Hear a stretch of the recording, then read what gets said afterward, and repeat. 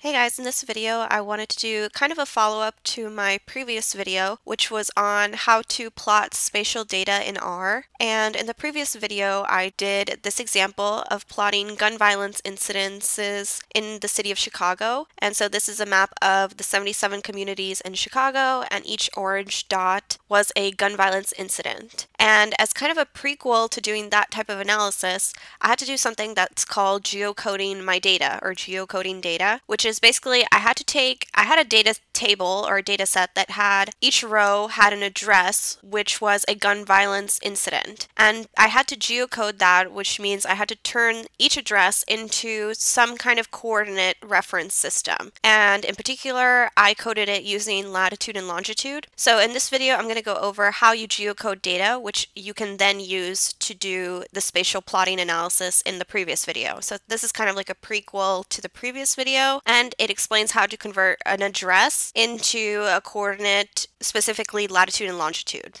So I have an example sample data set from, again, the gun violence data set that I was using in the previous video, just a little bit cleaned up. And so I have the first five incidences of gun violence in Chicago. And as you can see, I have a column in my data table that has the address. And I also have a column for the city, but the city is always going to be Chicago. And basically what I wanted to do is I want to get to a point where I have a column for the latitude and a column for the longitude of the data, which is geocoding. So to geocode from an address to a latitude and longitude coordinate system, there's a couple of different ways that you can do it. When I first looked online, there are a couple of websites that say that you can input or give them a data table and they will automatically geocode, but I found that a lot of those websites don't do it with very high accuracy. So the way I ended up geocoding my data was using a script that geocodes using Google Maps. And Google Maps obviously I found was highly accurate. So that was the way I ended up going with. And in particular, I found this script on this website, and I'll put the link in the description box below, which has a script that runs in Google Sheets. So basically what I had to do was I got my data set, which was a CSV file, and then I had to import it into a Google Sheets, which if you have a Google account, if you go to Google Drive and then just open a new Google Sheets, it's basically like an Excel sheet, but through the Google Drive system instead. And basically you can just open a new Google Sheet and then load in or import your CSV data table. And so that's what I did already.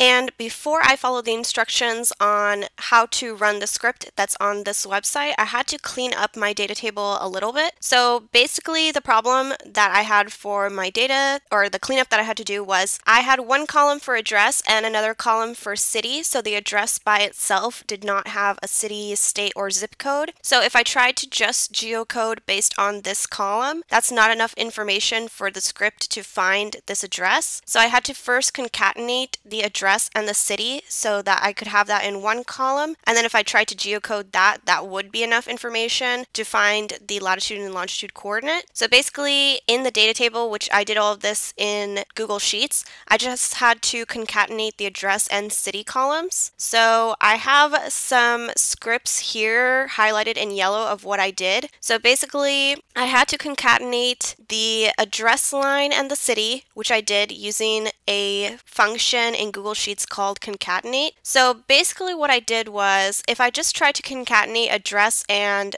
the city columns, there would be no space in between the last letter of the address and Chicago, so it wouldn't separate it into two different words. So what I did was I created a new column that had a concatenation of a space and the word Chicago. So then if I tried to concatenate this column with the address, I would get the proper concatenation. So basically, let me just erase this. So let me use the fifth line or the fifth row as my example. I went to this column and I said equal, this is equal to the function concat. I inputted a space and then the value that I want is the value of Chicago. So that's going to be D5.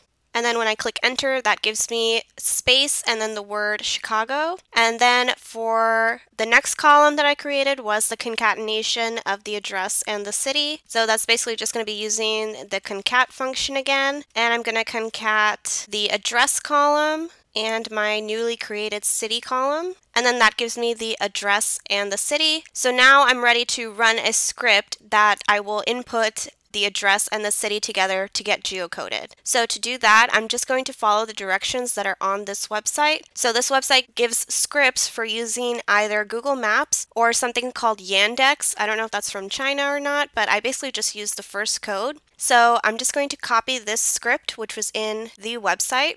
And then the instructions for using this script in Google Sheets are given right here. So it says open a Google spreadsheet, go to script editor under the tools menu and paste the app script below. So I'm just going to do that. So I'm going to go to tools, script editor, and I'm going to paste the function here.